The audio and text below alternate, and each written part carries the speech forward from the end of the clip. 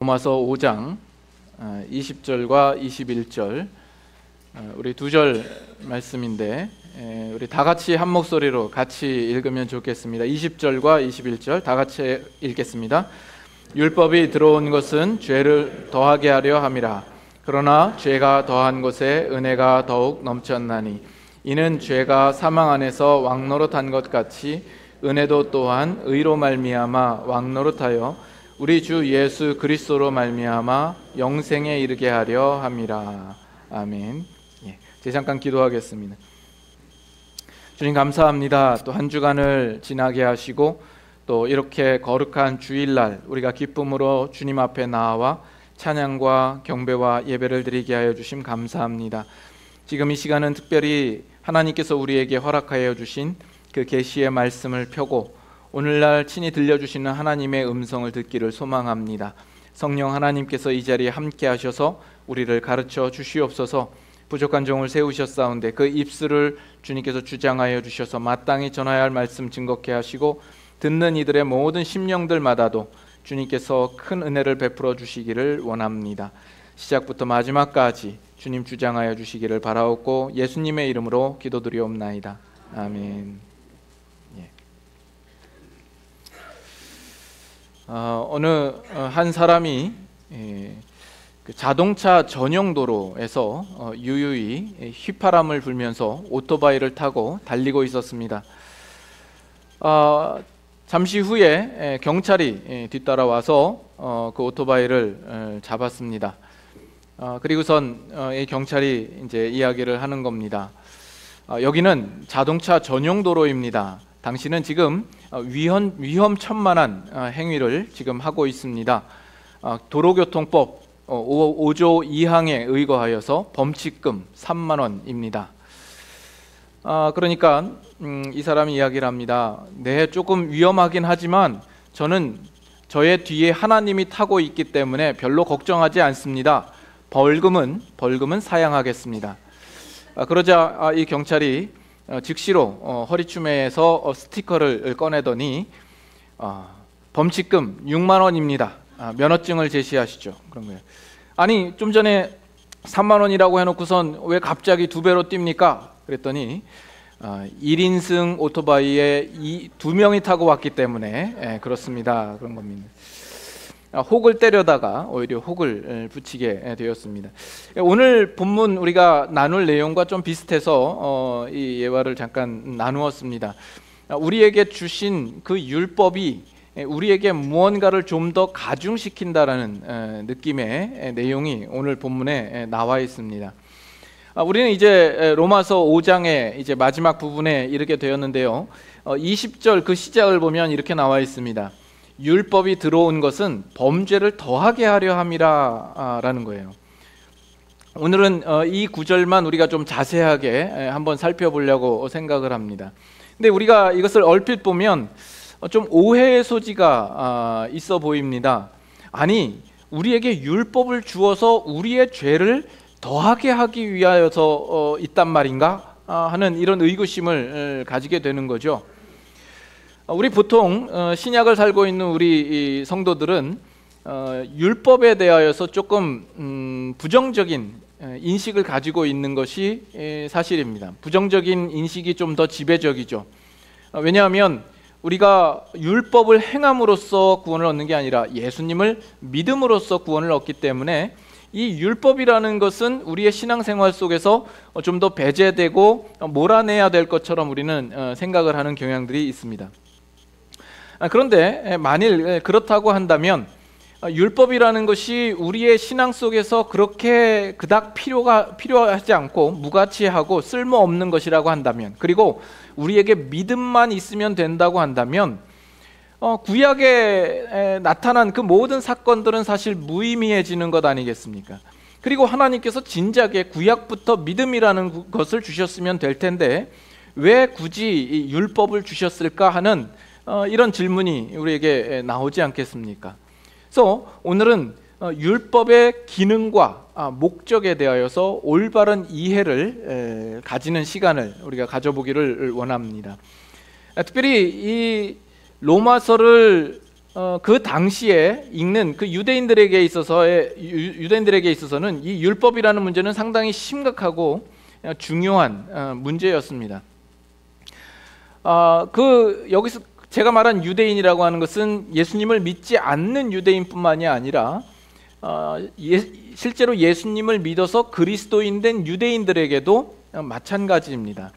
그들은 하나님의 섭리와 하나님의 구원 계획과 목적 속에서 이 율법이 가지는 정확한 위치와 그 기능이 무엇인지에 대하여서 이해하는데 상당히 오랜 시간이 예, 걸렸을 겁니다.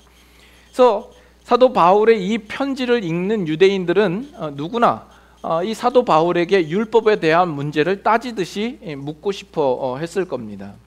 그래서 오늘 우리가 생각할 질문의 요지는 이겁니다. 율법의 기능과 그 목적이 무엇인가 아, 하는 거죠. 먼저 사도 바울이 그 전부터 분명히 밝힌 것은 이 율법이라는 것은 결코 우리의 구원의 방법이 아니다라는 겁니다. 아, 율법의 행위로서 의롭게 될 자가 아무도 없다라고 분명히 못 박아 설명을 하죠. 로마서 3장 어, 20절 한번 볼까요? 로마서 3장 20절 다 같이 함께 읽겠습니다. 그러므로 율법의 행위로 그의 앞에 의롭다 하심을 얻을 육체가 없나니 율법으로는 죄를 깨달음이니라. 저 율법의 행위로 그의 앞에 의롭다 하심을 얻을 육체가 없다라고 이야기를 하죠.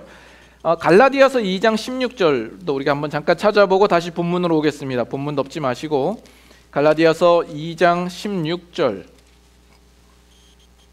신약성경 303페이지 정도가 됩니다. 갈라디아서 2장 16절 예, 찾으셨으면 같이 한번 또 읽겠습니다. 사람이 의롭게 되는 것은 율법의 행위로 말미암음이 아니요 오직 예수 그리스도를 믿음으로 말미암는 줄 알므로 우리도 그리스도 예수를 믿나니 이는 우리가 율법의 행위로서가 아니고 그리스도를 믿음으로써 의롭다함을 얻으려 함이라 율법의 행위로서는 의롭다함을 얻을 육체가 없느니라. 그래서 이 율법에 대한 설명 속에서 사도 바울의 진술은 언제나 일관적입니다. 어, 율법으로서 의롭게 될 자가 없다라는 겁니다. 그래서 이 율법으로는 어, 구원을 얻을 수가 없다라는 거죠. 아니 그렇다고 한다면 어, 이 율법은 어, 우리를 정죄하는 데에 필요한 것인가? 그러나 성경은 또한 역시 율법은 정죄의 방법이 아니다라고 이야기를 합니다. 우리가 어, 다시 본문으로 돌아오시면 우리가 어, 얼마 전에 보았던 12, 12절 5장 12절부터 14절까지의 내용 제가 한번 읽습니다. 그러므로 한 사람으로 말미암아 죄가 세상에 들어오고 죄로 말미암아 사망이 들어왔나니 이와 같이 모든 사람이 죄를 지었으므로 사망이 모든 사람에게 이르렀느니라. 죄가 율법 있기 전에도 세상에 있었으나 율법이 없었을 때에는 죄를 죄로 여기지 아니하였느니라. 그러나 아담으로부터 모세까지 아담의 범죄와 같은 죄를 짓지 아니한 자들까지도 사망이 왕노릇하였나니 아담은 오실 자의 모형이라. 자 여기서 이제 우리가 봐야 될 것은 어, 율법이 들어오고 그 다음에 정죄가 되어서 사망이 왔다라고 설명을 합니까? 그렇지 않죠. 어, 율법이 오기 전부터 사망이 왕노릇하고 있었다라고 이야기를 하고 있습니다. 율법이 정죄를 만들어서 사망이 온 것이 아니라 율법이 있기 전에 이미 한 사람으로 말미암아 죄가 들어오고 그 죄로 말미암아 아, 사망이 왔다라고 이야기를 하는 거죠. 그래서 율법을 통해서 정죄가 되는 것이 아니라 율법이 없을 때에도 어, 이미 정죄를 얻고 사망에 이르게 되었다라는 것을 어, 분명히 밝히는 것이죠. 이걸 보면 율법이라는 것은 구원의 방법도 아니다. 또 정죄의 방법도 아니다라는 것이죠. 우리가 율법을 열심히 행한다고 구원을 받는 것도 아니요. 율법을 하지 말라라는 것을 우리가 했다고 해서 그것이 우리를 정죄하는 것도 아니다라는 이야기입니다. 그렇다면 어, 이 율법이라는 것은 뭔가? 어, 율법의 기능이 뭔가? 하나님께서 우리에게 율법을 주신 이유가 무엇인가 하는 거죠. 모세를 통하여서 하나님께서 이스라엘 백성들에게 율법을 주셨는데 이 사실은 이스라엘 백성들에게 있어서는 상당히 중요한 어, 것입니다. 이 율법이라고 하는 것은 그것을 받지 못한 다른 민족들과 이스라엘 백성들을 구별시켜 주는 가장 실제적인 표지가 되는 것이죠. 어, 그런데 어, 지금 이 사도 바울의 논증을 보면 유대인들이 읽기에는 율법이 구원의 방법도 아니요 정죄의 방법도 아니라고 한다면 결국 율법이라는 것은 쓸모없고 가치가 없다라는 어, 이야기가 아니냐 어, 이렇게 생각될 수밖에 없다라는 거죠. 어, 그래서 어, 이 유대인들이 율법의 기능과 목적이 무엇이냐라는 이 질문은 그들에게 있어서는 아주 정당한 질문이라고 어, 볼 수가 있습니다. 이 질문에 대해서 사도 바울의 답변이 뭐냐하면 오늘 우리가 보았던 20절에 나와 있는 것처럼 어, 율법이 들어온 것은 범죄를 더하게 하려 합니다 하는 겁니다. 어, 이 의미가 무엇이냐라는 거죠. 어, 율법이 들어와서 우리로 그 죄를 더 어, 촉진시키고 어, 그 죄를 더 어, 가중시킨다라는 의미인가? 어, 의도적으로 우리로 죄를 더 짓게 만들기 위하여서 율법을 주셨다라는 이야기인가? 어, 그런 의미는 아니겠죠. 그렇다면 어, 이, 이, 율법을 주신 이유와 그 기능과 목적이라는 것이 무엇인가 하는 겁니다.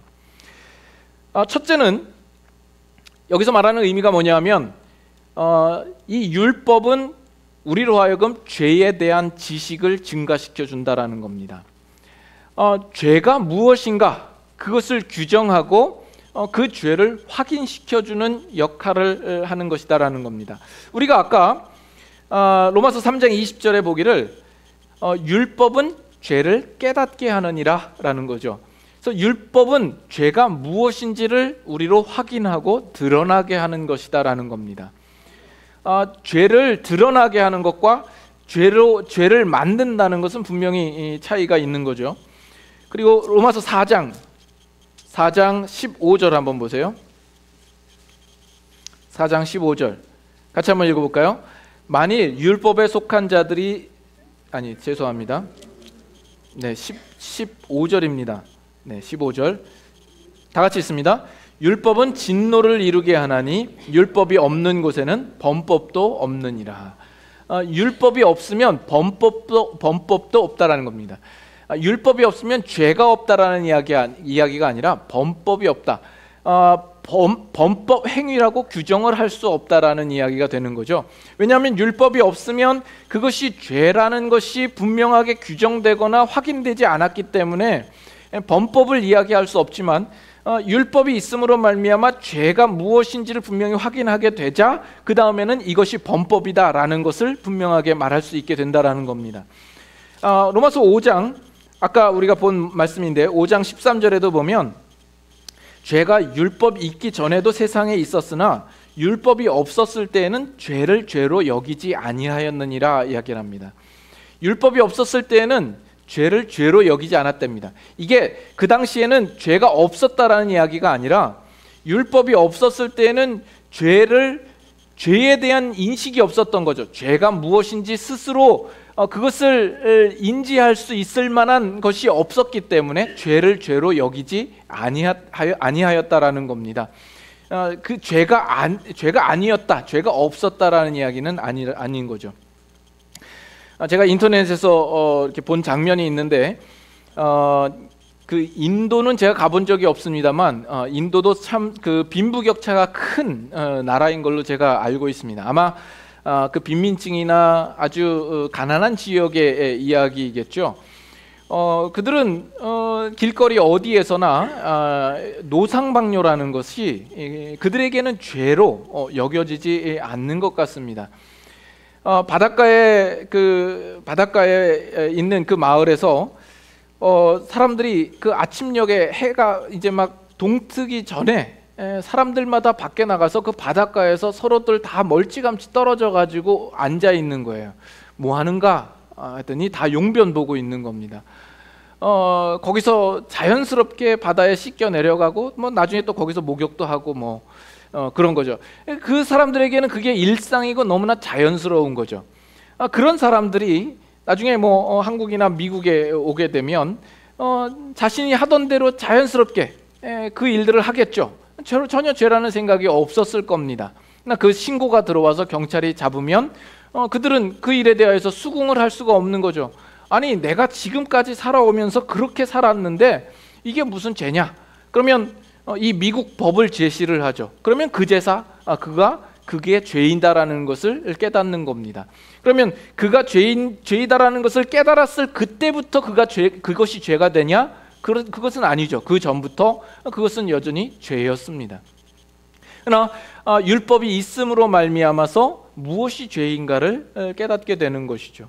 우리 과거에 한국 사람들도 어떤 음, 그런 인식이 많이 없었을 때에는 그런 습관들이 있죠. 왠지 이렇게, 이렇게 놀러 가거나 뭐 관광지에 가면 거기다가 그렇게 왜 자기 이름을 새기려고 그러는지 몰라요. 그죠? 바위에다가 아, 나 왔다 간다. 뭐 아무개 왔다 간다. 뭐 누구를 사랑한다. 뭐 이런 이야기를 썼는데 에, 다른 나라의 관광지에 가서 유명 문화재에다가 자기 이름을 새겨 가지고 그 한국어로 써 가지고 어, 한국이 많이 이제 또 욕을 먹는 경우가 있습니다. 여러분 가시거든 어, 중국말로나 아니면 영어로 쓰시던가 하시지 한국말로는 어, 하지 마십시오.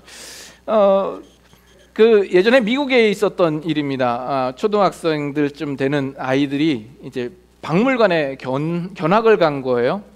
근데 그 중에 한 학생이 그 미술 작품에다가 자기의 껍던, 씹던 껌을 붙여놓은 겁니다. 그 일이 나중에 발각이 되어가지고 어, 그 아이의 부모가 엄청난 벌금을 물게 되었다라는 그런 뉴스를 접한 적도 어, 있습니다. 아마 그 아이는 그것이 죄라고는 어, 생각하지 못했을 가능성이 있습니다.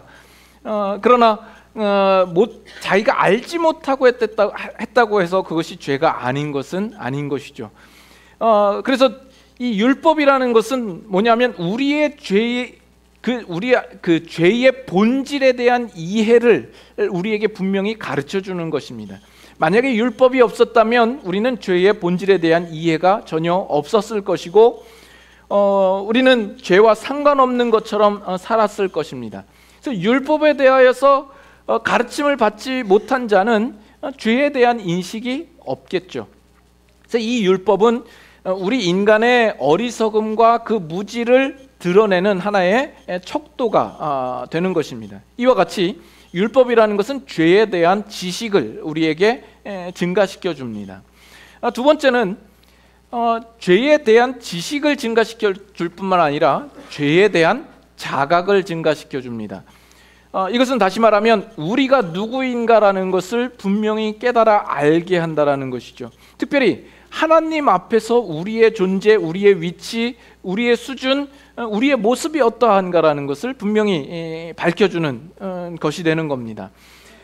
어, 아, 단지 그 율법이 무엇인지를 확인하고 규정하는 데서 그치는 것이 아니라 그 율법이 주어짐으로 말미암아 아, 내가 그 죄를 깨닫고 내 마음에 깊이 후회하는 어떤 후회스런 감정이 나타나는 것이죠. 단지 죄를 머리로만 알고 지식으로 정보로 아는 것이 아니라 우리의 심령 깊숙이 내가 이것이 잘못되었구나라는 것을 깨달아 아, 죄의 과오를 알게 되는 것입니다.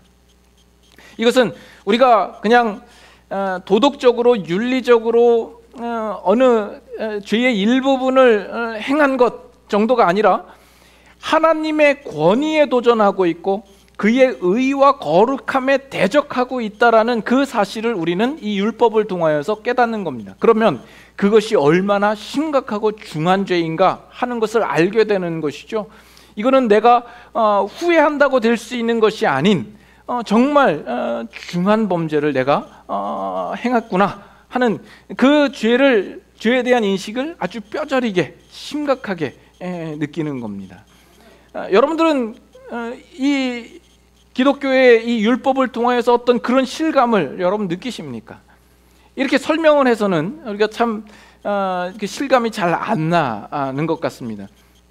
얼마 전에 아주 안타까운 뉴스를 제가 접한 적이 있습니다. 한 가, 단란한 가정에 이제 가장이 자기 아이들을 차에 싣고 이제 학교에 드랍을 하고 그리고 자기는 이제 직장에 출근을 한 겁니다. 아, 출근을 하고 나중에 퇴근을 하려고 파킹랏에 가서 차 문을 열었더니 거기 뒷좌석에 쌍둥이 아이를 그냥 놓고 내려서 어, 그들이 질식해서 죽었던 어, 사건이 이- 있습니다.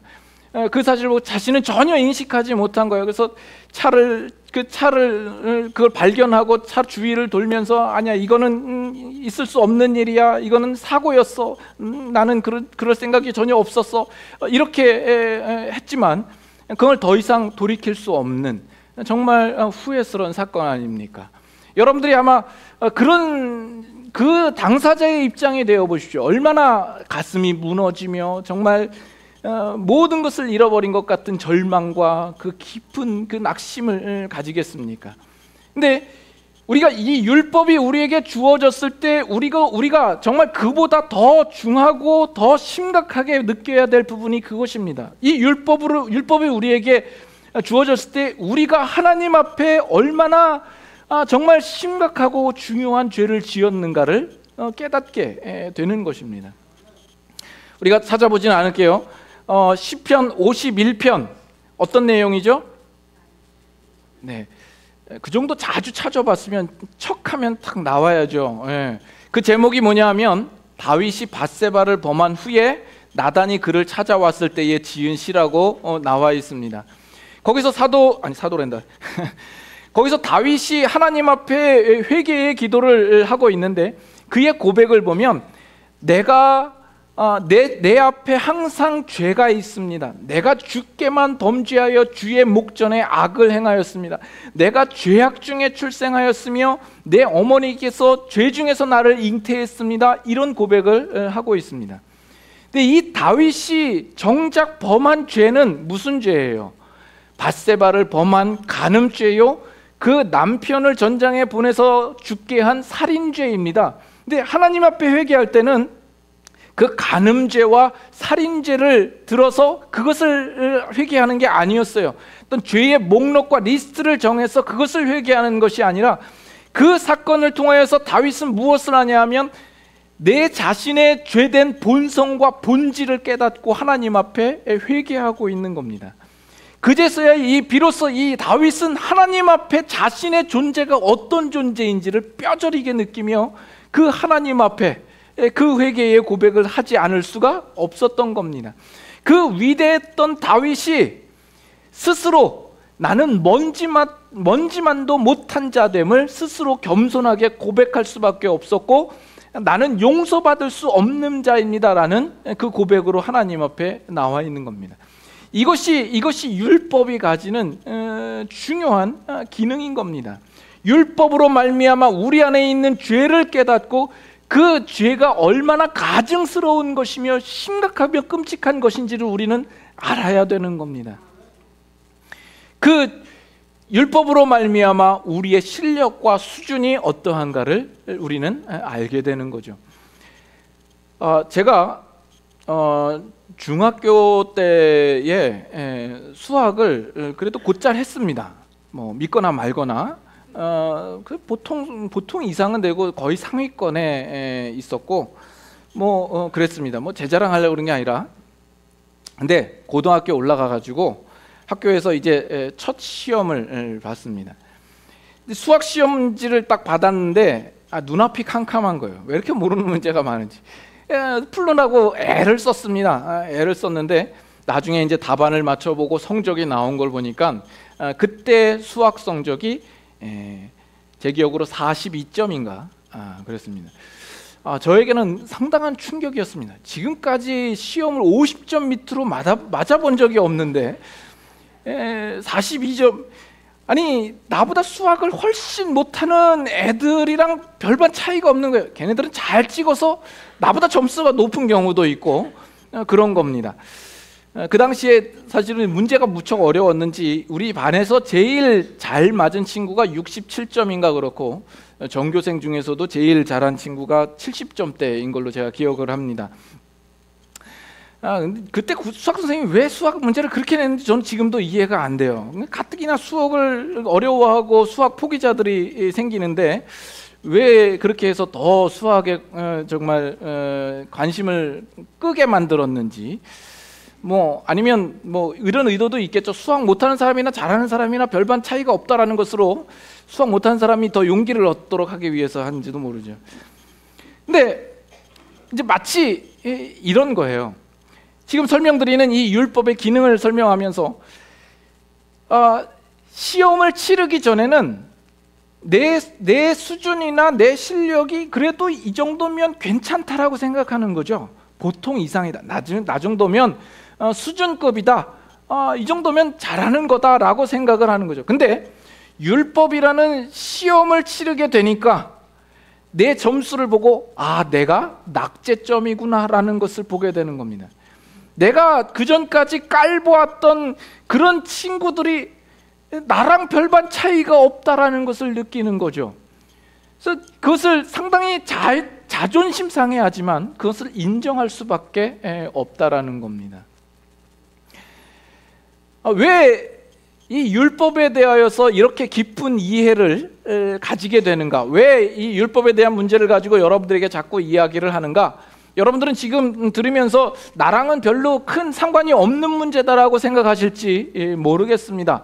아, 또는 여러분들이 이 자리에 오면서 여러분들이 기대했던 음, 어떤 아, 설교 내용과 사뭇 다르기 때문에 실망하시고 어, 계시고 있을지도 모르겠습니다. 그러나 그럴수록 그럴수록 저는 더욱 이 죄와 율법에 대한 문제를 이야기를 꼭 해야 되겠습니다. 그 이유는 뭐냐면 오늘날 현대를 살아가는 많은 사람들, 특별히 오늘 현대에 더 고등 교육을 받고 지식이 많고 상식이 많고 그리고 스스로 선하고 도덕적이고 양식, 양, 양심적인 사람들이 자신들이 죄인이다 말하고 죄인으로 살아왔다라는 그 일들을 일들에 대하여서 그들은 상당히 기분 나빠하며 몹시 분개합니다. 물론 그들이 살인죄를 범하진 않았겠죠. 뭐 술 먹고 사고 치는 것도 아니요, 뭐 음행의 죄를 범한 것도 아니었을 겁니다. 오히려 이 사회 속에서 사람들에게 인정받고 존경받는 위치에 있을지 모릅니다. 박애주의자이고 또 선한 일에 열심인 사람일 수도 있습니다.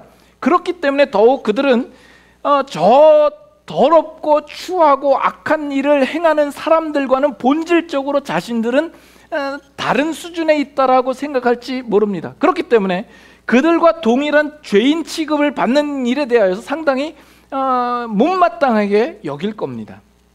혹시 이 자리에 계신 여러분들도 그와 비슷한 생각을 가지고 계신 분들 있, 있지 않습니까? 왜 그럴까요? 왜 그런 생각을 할 수밖에 없었을까요? 왜 그럴까요? 그들은 자신의 수준과 실력과 자신의 모습을 체크할 수 있는 절대적인 기준과 잣대를 가지지 못했기 때문에 그렇습니다. 아직 시험을 치르지 않았기 때문에 내 수준 정도면 그래도 저 사람보다는 보통 이상이다, 상위권에 있겠다 이렇게 생각을 하고 있는 겁니다.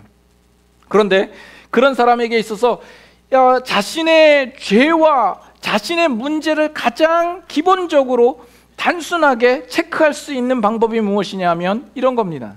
당신은 당신의 삶 속에서 하나님께서 어느 자리에 위치하고 있습니까? 당신의 인생 속에서 하나님이 얼마만큼 중요하며 하나님을 얼마만큼 연두하면서 살고 있습니까? 당신은 과연 하나님을 아십니까?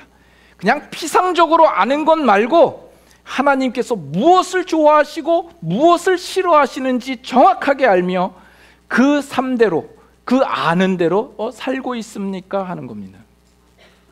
세상에서 가장 큰 죄인은 하나님은 안중에도 없고 자기 스스로 만족에 빠져 있어서 스스로 도덕적이고 선하다고 생각하는 사람일 것입니다. 아, 자신은 언제나 온전하고 문제가 없다라고 어, 생각을 하는 거죠. 그것은 마치 뭐와 같으냐면 하나님께서 굳이 자기 아들을 이 땅에 보내서 십자가에 못 박을 못 박을 이유가 없다라고 생각하는 것과 똑같습니다. 그 얼마나 하나님께 모욕입니까? 가장 큰 죄인은 예수 그리스도의 피의 필요성을 모르는 자입니다. 그것이 죄인입니다. 그렇기 때문에 이 율법이라는 것이 더욱 더욱 필요한 것입니다. 율법에 대한 진리와 율법에 대한 지적을 우리는 분명히 받아야 되는 겁니다. 그래서 여러분들이 우리는 아, 예수님을 믿음으로써만 구원을 얻기 때문에 율법이라는 것은 그닥 필요가 없다라고 생각하는 사람들은 뭘 모르는 겁니다.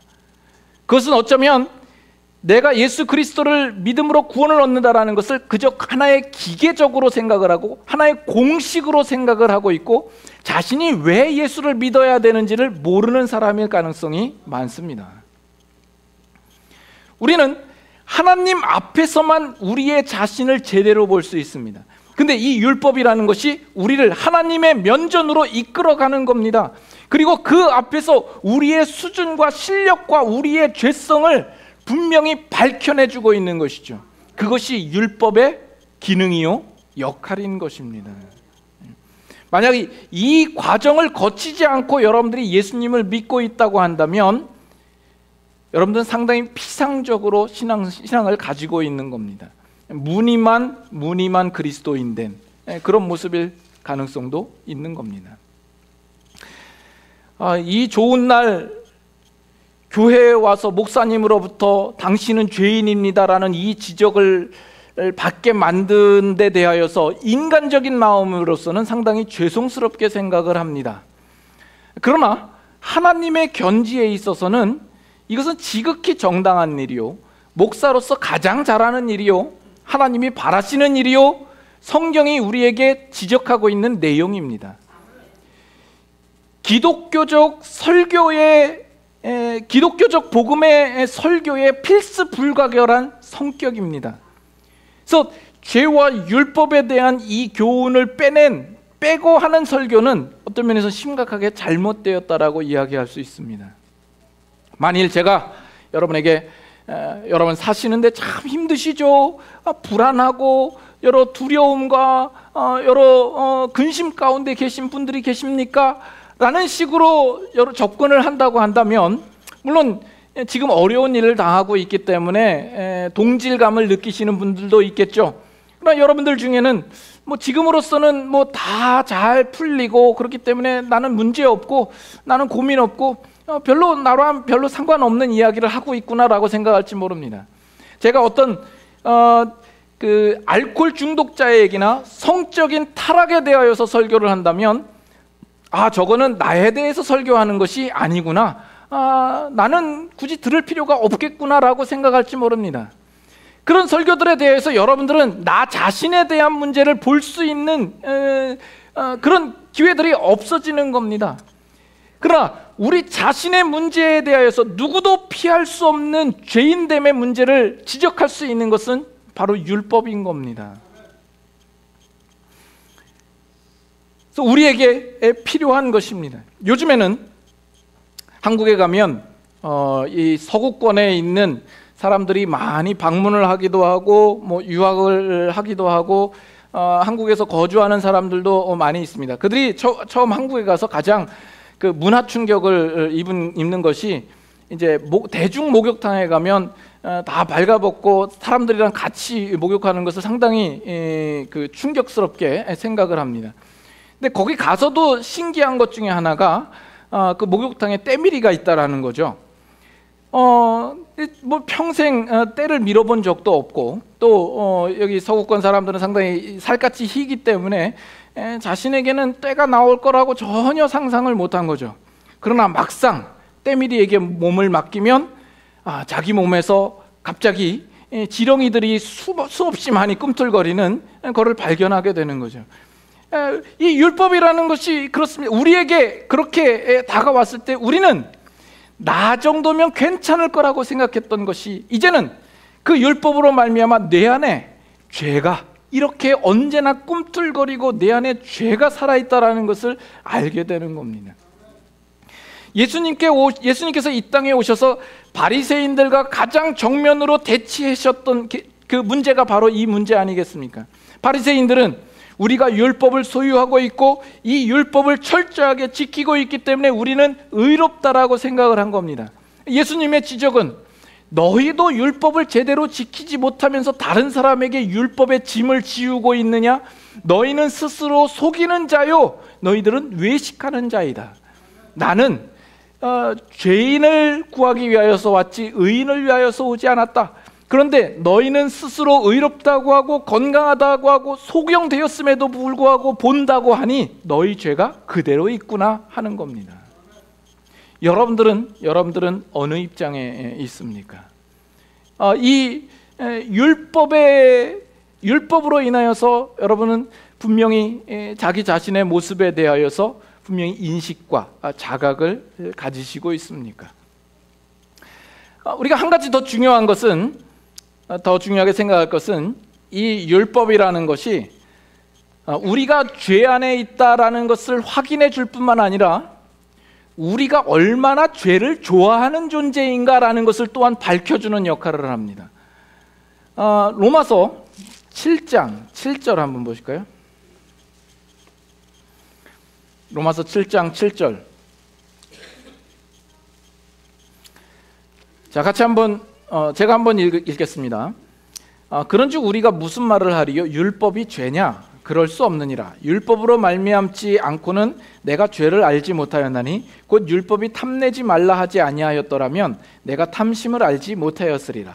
지금 이것은 우리가 지금까지 이야기한 거죠? 어, 율법이 있음으로 말미암아 어, 우리가 그 전에는 탐심이 죄라는 것을 알지 못했지만 율법이 오자 우리가 탐심이 죄라는 것을 알게 되었다 하는 겁니다. 그런데 이제 8절이 문제입니다 8절에 그러나로 시작하고 있는데 같이 한번 읽어보겠습니다 그러나 죄가 기회를 타서 계명으로 말미암아 내 속에서 온갖 탐심을 이루었나니 이는 율법이 없으면 죄가 죽은 것임이니라. 어, 우리 인간이 가지는 가장 큰 착각과 교만이 뭐냐하면 이것이 죄다. 또 이것은 죄가 아니다라는 것을 가르치면 우리는 우리 스스로 그러면 내가 죄가 아닌 것을 충분히 행할 수 있다라고 자신하고 착각하고 있다라는 점입니다. 그러나 여기 보면 율법이 이것이 죄다라고 우리에게 분명히 밝혀 주었음에도 불구하고 우리는 그것을 죄로 알면서도 죄를 짓고 있다라는 겁니다. 이 얼마나 놀라운 어, 통탄할 만한 어, 사실입니까? 그래서 죄가 기회를 타서 계명을 통하여서 탐심을 이루었다라고 이야기를 해요. 탐심은 죄다. 탐심하면 안 돼. 이렇게 말하고 우리는 그것을 알고 있음에도 불구하고 여전히 이 세상을 살아가면서 어, 탐욕스런 어, 인생을 살더라는 것입니다. 이것이 우리 신앙인들에게도 동일한 문제 아닙니까? 우리는 정답이 무엇인 줄 알면서도 정답대로 살지 않는다라는 것 아닙니까? 어, 집안의 가훈을 아주 멋지게 에, 글을 써서 액자화시켜 어, 붙여놓죠. 어, 학교 교실에도 급훈 그래가지고 뭐 근면, 성실, 뭐 정, 정, 정직 뭐 이렇게 붙여놓죠. 좋게 아름답게 붙여놨지만 그대로 사는 사람들은 없더라라는 겁니다. 더 무서운 건 뭐냐면 내가 죄를 좋아할 뿐만 아니라 그 죄가 나를 지배하고 다스리더라라는 겁니다. 어, 나의 주인이 죄더라는 거예요. 여기 아까 본 8절에서 보면 죄가 귀해를 타서 그 주어가 뭐냐면 죄예요. 죄가 주도적인 역할을 하는 겁니다.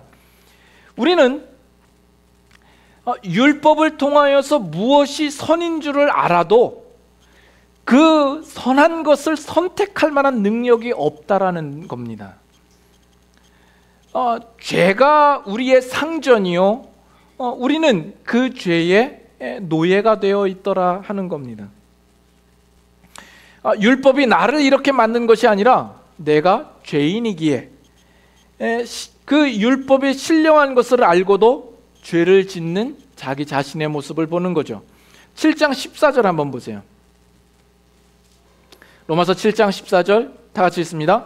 우리가 율법은 신령한 줄 알거니와 나는 육신에 속하여 죄 아래에 팔렸도다. 그렇죠? 이 율법이 잘못된 게 아니에요. 율법은 신령합니다.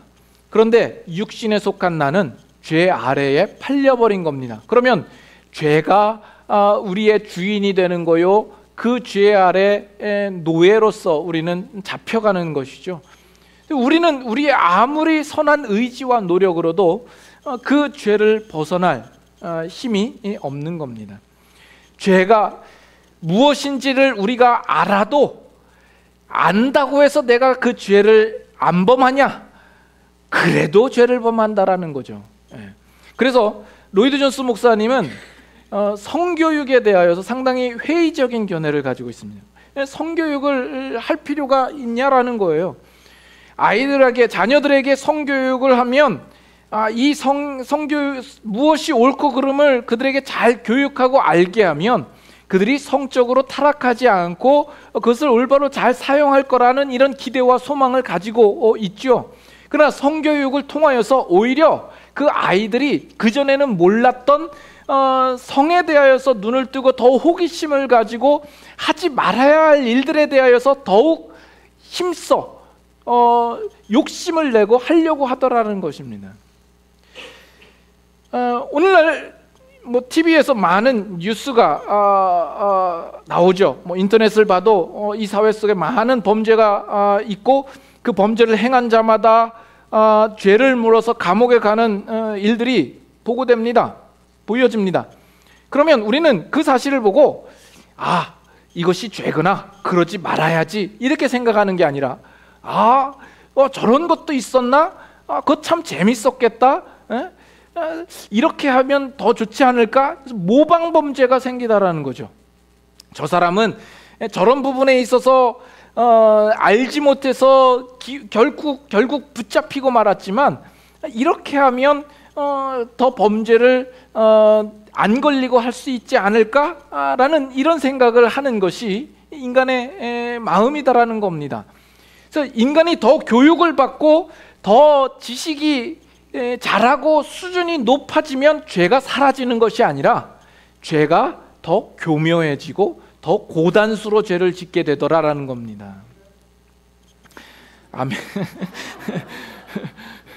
뭐 틀린 건 아니니까. 어, 요즘 최근 한 10년 사이에 유행하는 게 뭐냐면 어, 황혼 이혼이라는 게 예, 있습니다. 아, 아, 아이들이 자랄 동안에는 그 부부관계 속에서 억울하고 치이고 어, 손해 보고 이런 것들을 다 참아가면서 이렇게 살다가 이제 노후 때가 돼가지고 이제 예, 황혼 이혼을 하는 거죠. 어, 이것도 제가 뭔가 여러분에게 가르쳐 주는 것이 될까 아, 두려운데 어, 그 자녀들이 이제 대학도 가고 다 이제 시집장가 다 가고 나면 어, 이제는 이제는 어, 이제 에, 그 지긋지긋한 그 사람과 더 이상 살 마음이 이제 어, 없는 거죠. 근데 꼭 그렇게 되면 꼭그 어, 이혼 소송을 하게 되면 언제나 어, 아내 쪽이 이긴답니다. 왜냐하면 지금까지 살면서 그 억울했던 것들을 일기처럼 빼곡하게 적어놔가지고 그걸 제출하면 어, 결국 그 남편들은 쪽박을 차고 어 이제 아내들은 그 모든 재산들을 이제 몰수해서 어 그 노후를 아주 편하게 즐겁게 지내더라. 어, 아니 저렇게 좋은 아이디어가 또 이런 생각을 우리는 또 어, 한다라는 거죠. 예? 우리는 우리 끊임없이 그 죄를 좋아하는 그런 본성 속에 있는 겁니다. 지금 이 사도 바울이 이야기하는 것이 율법은 너희의 범죄를 더하게 하려 함이라. 이 범, 이 율법으로 말미암아 우리의 범죄가 더욱 어, 그 증가되는 것이죠.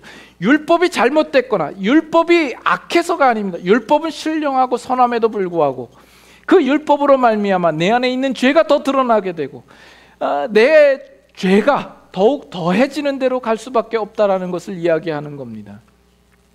그래서 우리는 지금까지 이 율법으로 말미암아 우리의 죄가 드러나고 내가 죄의 노예, 노예로 어, 팔려져서 그 죄에서 더 이상 벗어날 수 없는 상태라는 것을 어, 이야기를 했어요. 이 율법의 기능과 그 목적에 대해서 상당히 부정적인 음, 이야기만 했습니다. 거기서 끝이냐?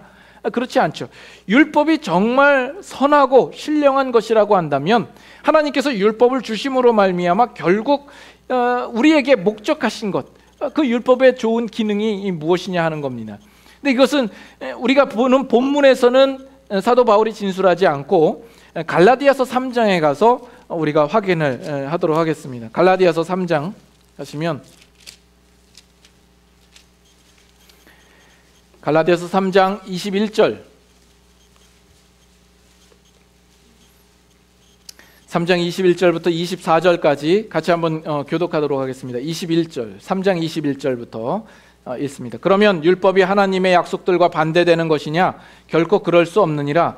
만일 능히 살게 하는 율법을 주셨더라면 의가 반드시 율법으로 말미암았으리라. 그러나 성경이 모든 것을 죄 아래에 가두었으니 이는 예수 그리스도를 믿음으로 말미암는 약속을 믿는 자들에게 주려 함이라.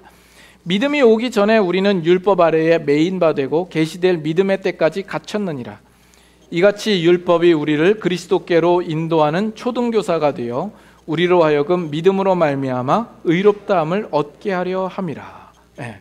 여기 보면 율법이 하나님의 약속들과 결코 반대되는 것이 아니다라고 이야기를 하죠. 살게 하는 율법을 주셨다라는 겁니다.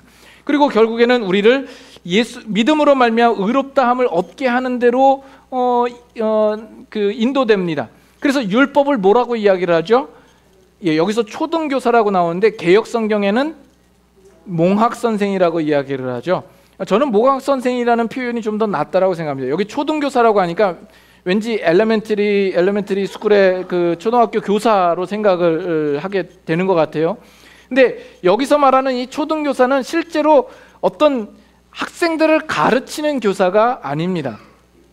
여기서 말하는 것은 그 유대인들의 집 안에서 어, 그 자녀들을 돌보고 양육하고 그래서 학교 갈 때에는 어, 그 자녀들을 데리고 안전하게 학교까지 데려다 주는 그 집에 하나의 노예와 같은 자들을 어, 이, 이 몽학 선생이라 아, 초등교사라 이렇게 부르고 있는 겁니다. 마치 이 율법이 지금 그와 같은 역할을 한다라는 겁니다. 어떻게요? 이 율법이 옴으로 말미암아 우리가 지금까지 확인했던 것처럼 우리 안에 있는 죄가 무엇인지를 확인하게 되고 우리의 죄의 그 자각을 갖게 돼서 하나님 앞에 나의 끔찍한 죄된 모습을 발견하게 되는 것이죠. 그리고 어, 우리가 죄를 좋아할 수밖에 없는 존재요. 그 죄의 노예 아래 있어서 우리 스스로는 벗어날 수 없는 존재라는 것을 확인하는 겁니다. 그럼으로써 우리는 어디에 시선을 두게 되냐면 과연 우리를 구원해 줄 구원자가 어디 있느냐로 우리의 시선이 가게 되는 겁니다. 우리 스스로는 구원을 할 방법이 없으니까 그러면 우리의 구원자가 누구인가? 바로 하나님께서 보내주신 예수 그리스도가 우리의 구원자 됨을 우리가 비로소 보게 되는 것입니다. 그래서 이 율법으로 말미암아 이 율법이 우리를 어디로 인도하냐면 바로 우리를 구원할 예수 그리스도께로 우리를 인도하는 역할을 한다라는 것입니다. 어, 여러분들은 지금 이 자리에 오면서 어, 바로 어, 그 율법으로 인하여서 가지는 그 과정을 거쳐서 이 자리에 오셨습니까? 예. 어, 그것이 여러분 없으면 음, 안 됩니다. 우리의 죄인됨을 분명히 알아야 합니다. 하나님 앞에 나의 죄인됨과 그 끔찍함을 알아야 되는 것이요. 그리고 우리가 예수 그리스도를 알고 예수 그리스도밖에 소망이 없구나. 나의 구원자이구나. 예수 그리스도를 믿음으로써만 나의 이 죄의 문제를 벗어날 수 있구나라는 것을 알아서 예수 그리스도를 믿게 되는 겁니다. 그리고 예수 그리스도를 믿었을 때에 하나님께서 베푸시는 은혜가 얼마나 큰지를 알며 거기서 감격하며 감사하며 어, 승리의 영광을 얻게 되는 것입니다.